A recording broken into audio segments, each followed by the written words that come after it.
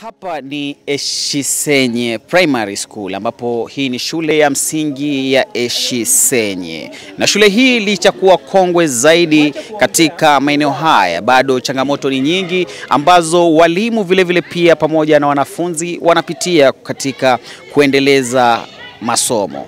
Kwa makala haya na mengine zaidi, zidi kuwa nami Stanley Matano, na hii ni Siasa Place Kakamega.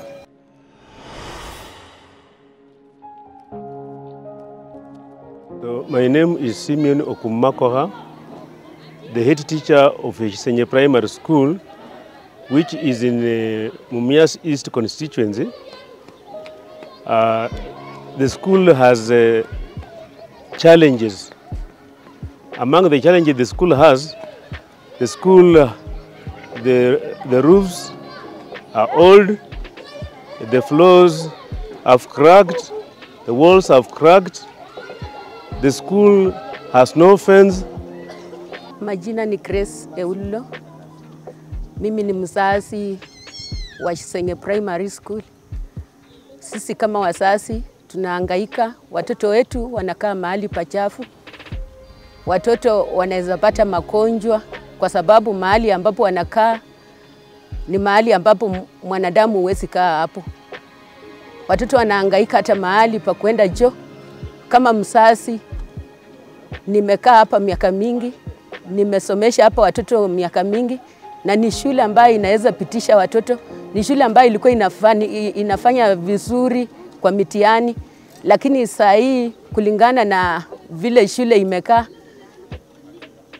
inaleta stress.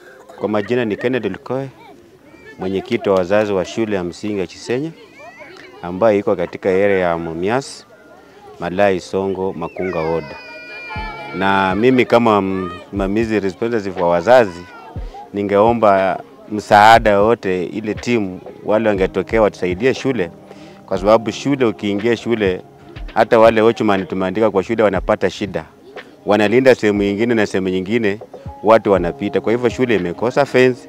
Ukiingia ndani ya madarasa kuna mashima ambayo iko na hivi karibuni hata magonjwa ya wadudu inaweza ingilia watoto.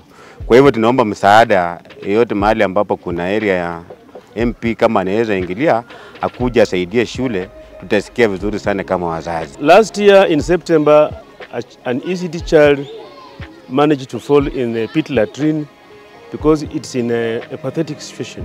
Hizi ndo choo ambazo kwamba wanafunzi hapa wanatumia kukidhi haja zao, lakini changamoto ambayo iliyopo sasa hivi ni kama unavyoona uh, majengo yenyewe ya choo hizi jinsi yalivyo, ni kwamba hali yake ni mbaya. Usalama wa wanafunzi ambao ni wa jinsia ya kike vile vile pia inakuwa ngumu, hasa msichana kukidhi haja zake, tukizingatia kwamba hapa ndo njia kubwa watu wanapopitia kwenye barabara hii, kwani shule hii bado haina fence, licha kuwa shule hii ni shule kongwe zaidi maeneo haya. Isongo Makunga ward where we also request our area MCA, Mr. Peter Walunya, to come and assist us. The way we are requesting the area MP, Mr. PK Salasia, to come and assist the school to come in a full swing. We want to thank the CDF to have put for us um, an administration block. But still the administration block is incomplete because it is missing electricity. Last year in September, an ECD child managed to fall in the pit latrine because it's in a, a pathetic situation. So I request an SCBO and uh, if, if, if, if not an SCBO, an NGO, CDF inclusive for the government to come and assist the school seriously. The school is in a pathetic situation. It has made the school to enrollment to drop. So therefore, we normally request for that assistance.